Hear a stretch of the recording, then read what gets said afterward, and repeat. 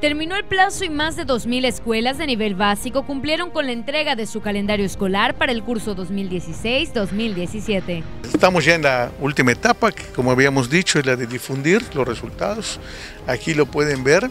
Eh, lo destacable es la participación de toda la comunidad escolar. Un terreno abandonado que se ubica en la calle 41 por 16 y 12 del fraccionamiento Mulsay preocupa a los colonos de la zona.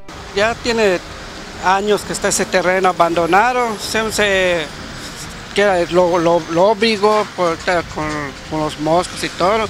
Tras cumplirse 18 meses de reducción en las tarifas eléctricas para el sector industrial, se da un nuevo incremento como consecuencia de los aumentos al precio de los combustibles para poder generar energía eléctrica.